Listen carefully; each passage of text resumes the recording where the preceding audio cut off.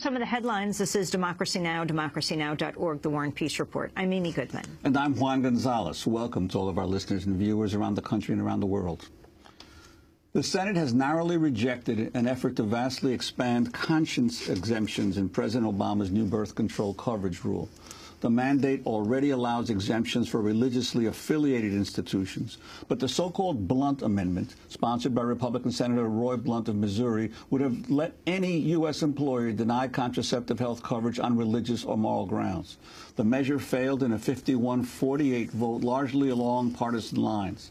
Maine Senator Olympia Snowe was the only Republican to vote against the amendment respect to the Blunt Amendment, I think it's much broader than I could support. I think we should have focused on the issue of contraceptives and whether or not it should be included in a health insurance plan and what and what requirements there should be. That was Senator Olympia Snowe, who has announced she will be retiring from the Senate. Uh, the Obama administration's mandate has spawned passionate debate over whether women should have free access to contraceptive care, either from their own employers or insurance companies. On Wednesday, Republican presidential candidate Mitt Romney ignited a firestorm among his rank and file when he said he was against the Blunt Amendment.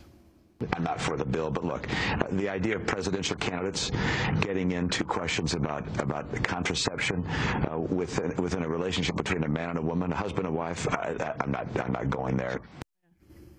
After the interview, Romney's campaign quickly said he actually did support the amendment that hasn't stopped Democrats and Republicans alike for blasting his comments. Republican presidential contender Rick Santorum told supporters at a rally in Georgia, quote, we saw an insight into what's in the gut of Governor Romney yesterday. In other reproductive rights news, a Virginia bill mandating ultrasound exams for women seeking abortions has cleared its final legislative hurdle and is expected to be signed into law by Governor Bob McDonnell. It includes an exemption for victims of incest and rape, provided they report their assault to police. Proponents of the bill argue ultrasounds will help inform women about the pregnancies they wish to abort. But critics contend patients will be subjected to emotional blackmail, logistical hurdles, and legalized bullying. The Virginia ultrasound bill is just one of several measures around the nation. Texas already has an even stricter bill on its books, and Alabama Republicans would like their own vaginal ultrasound bill passed soon. For more, we're joined by two guests. Here in New York, Dr. Willie Parker is with us. He's a physician, an abortion provider, and board member of Physicians for Reproductive Choice and Health. And in Washington, D.C., we're joined by Terry O'Neill, president of the National Organization for Women. We welcome you both to Democracy Now! Terry O'Neill, let's begin with you. Talk about the Blunt Amendment. The Blunt Amendment is an anti-contraception, anti-birth control uh, provision that was actually made a lot broader. It simply says that any employer could strip any health care service from the employer's health care plan based on any undefined religious or moral conviction. It was clearly aimed, however, at birth control, and it would allow employers to strip birth control from uh, from health plans. It's it's uh, it's clearly illegal. Courts have spoken very uh, specifically that that uh, it's not it, it is not okay under Title VII of the 1964 Civil Rights Act to discriminate um, in the provision of health care services in a health care plan. And this is clearly um, discrimination, um, uh, sex discrimination. So, so it's a, it's what's really surprising to me about the Blunt Amendment is that it did not fail 99 to 1. That should have been the vote. It's it's uh, it's appalling that politicians really think they can get away with restricting birth control. I mean, it's one thing for the Catholic bishops to rail against birth control. It's another thing for an elected official. Those elected officials, believe me, who voted for the Blunt Amendment, will not be holding their jobs very much longer. And, and well, as you say, Catholic officials rail against it while 98% of Catholics use uh, uh, birth control. Uh, your sense of why this enormous, uh, uh, this close vote on an issue like this? Well, the Republican leadership seems to have decided that it's a, that that uh, attacking women's health is somehow politically a good idea, uh, they clearly need to divert attention away from the improving economic situation. That is not good for them politically. They're trying to paint President Obama as as having failed on the economy. But but I, I cannot explain honestly why the leadership believes that uh, attacking women's health is good for them. The polls show, you know, Rick Santorum was poised to win the Michigan primaries by a substantial margin. He lost women in droves because of his uh, anti-birth control stance. And believe me, Mitt Romney, who is clearly anti-birth control, who is very willing to enact laws restricting birth control, he is going to lose women uh, if he becomes the nominee in the general election. It was quite something to see the complete turnaround within a couple of hours of Mitt Romney, first saying, of course, he's for the amendment, and then that he was against the amendment. But I wanted to ask you, Terry O'Neill, about Rush Limbaugh, who uh, made headlines on Wednesday after calling a student reproductive rights activist a slut for campaigning in favor of contraception coverage for women. Limbaugh made the comment during a rant on his radio broadcast. What does it say about the college co-ed Susan Fluke, who goes before a congressional committee and essentially says that she must be paid to have sex? What does that make her? It makes her a slut, right? Makes her a prostitute. She wants to be paid to have sex. She's having so much sex she can't afford the contraception. She wants you and me and the taxpayers to pay her to have sex.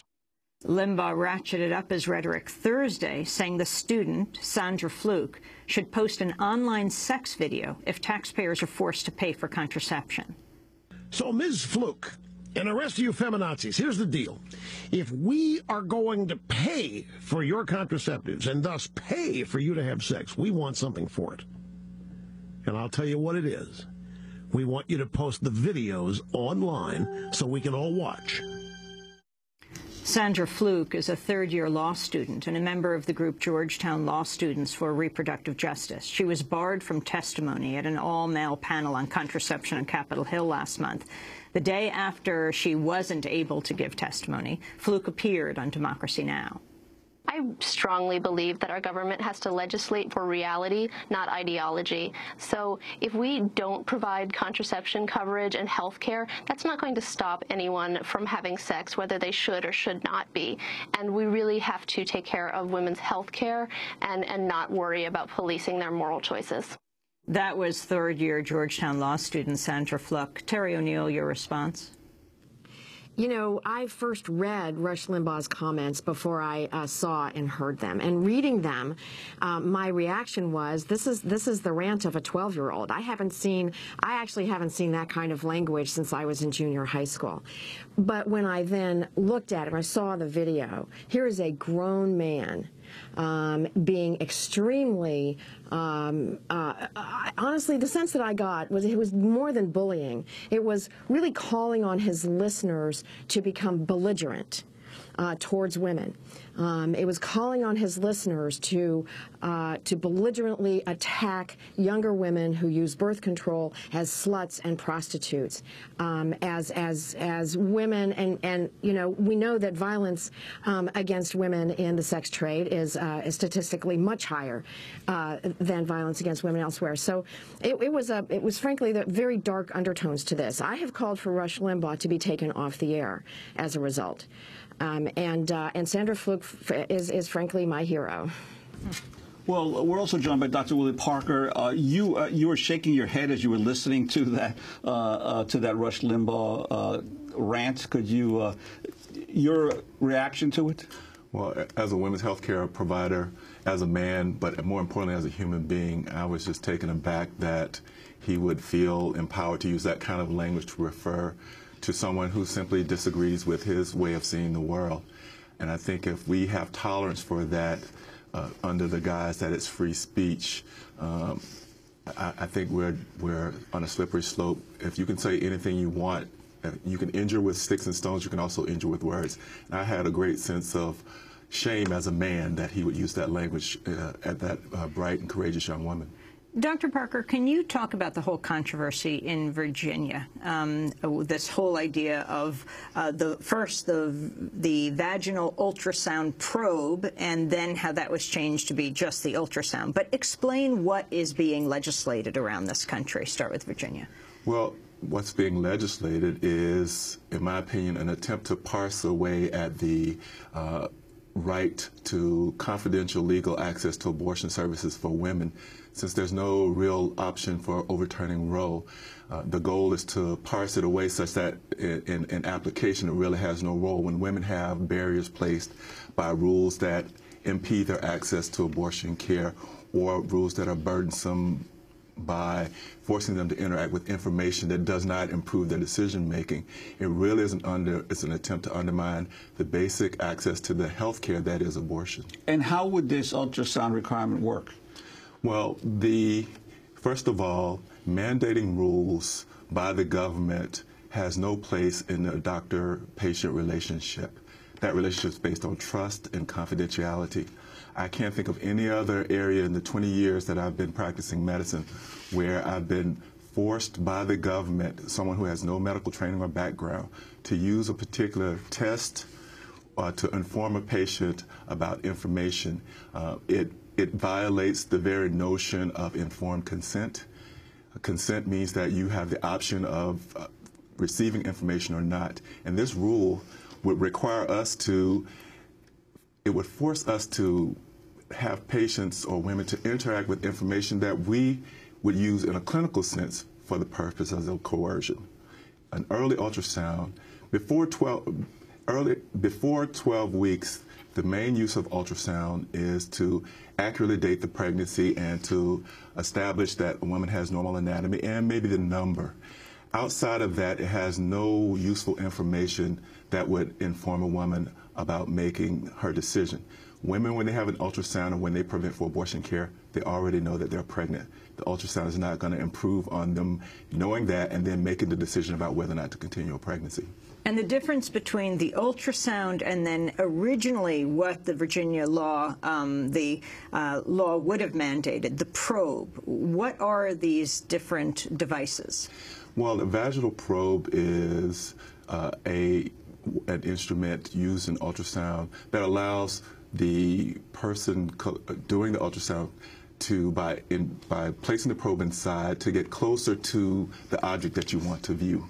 So, for example, uh, the vaginal probe allows the ultrasound transducer or part that collects the signal to be right next to the uterus so that you can get a clearer image with more information.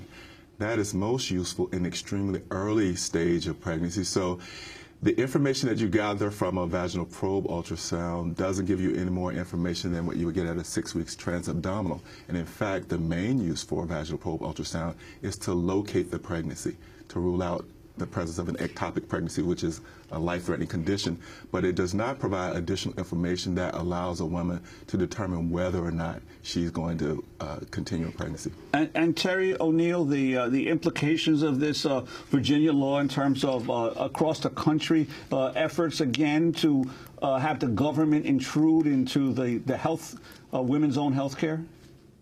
Sure, and these, these ultrasound laws really are part of a coordinated campaign at the state level to produce what, what, what we are calling um, humiliation, ritual humiliation laws. The only purpose of these laws, they, they mandate medically unnecessary, non-consensual, extremely costly uh, procedures in, in which the, the, not only does the ultrasound have to be done, but the woman is forced to, uh, in some states, view the ultrasound, and the doctor is forced to tell the woman whether there's a heartbeat. And and the the, the uh, in Alabama, for example, Mr. Scofield, who who who introduced uh, an ultrasound law, actually said that he had taken the uh, the, the transvaginal probe, uh, he, he, he made an exemption for that so that a woman, he said, I want a woman to have a choice whether to have this ultrasound by a vaginal probe or externally. So in other words, his choice, and he actually used that word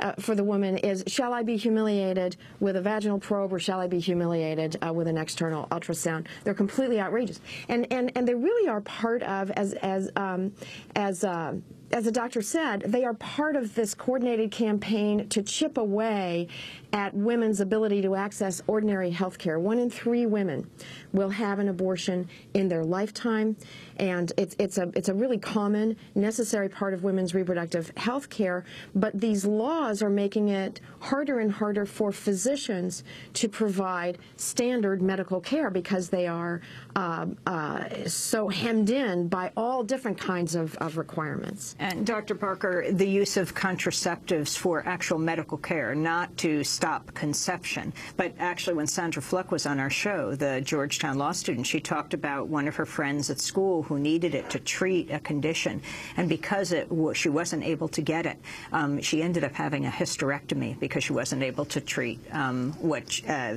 at an early stage what she needed to. Sure.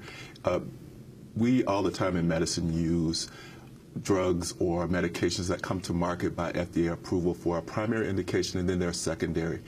The non-contraceptive benefits of co hormonal contraception um, are as prevalent and for many women as important as the ability to prevent an unplanned unwanted pregnancy. For example, women who suffer serious and debilitating symptoms with their menstrual cycle or PMS as it's commonly known, simply by being able to regulate her menstrual cycle, she can be relieved of debilitating symptoms and continue to be functional. The, the, the, patient stories are the best ones, and I think what's at risk if we paint with a broad brush and lose the ability to have women have access to contraception pills uh, for non-contraceptive benefits. I think of a patient I had by the name of Ashley, 14-year-old prodigious soccer player in the ninth grade who in the early part of her menstrual cycle had very irregular periods and sometimes would bleed down to anemia. Her mother brought her in to see me um, to find out what we could do.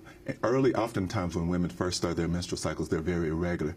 So Ashley, who was not sexually active, uh, wanted to have some way of not interrupting her ability to play soccer. So with, in consultation with her mother and her, we figured out the best way to regulate her menses was to start her own birth control pills. Now, if Ashley's purse falls on the floor and her pills fall out, people will assume that she's sexually active. But there are other non-contraceptive benefits, and that's what would be lost if we paint with a broad brush and allow contraception to be politicized such that everyone uh, loses their access that should be able to use it. Well, we want to thank you both very much for being with us. Dr. Willie Parker, physician, abortion provider, board member of Physicians for Reproductive Choice and Health, Ontario.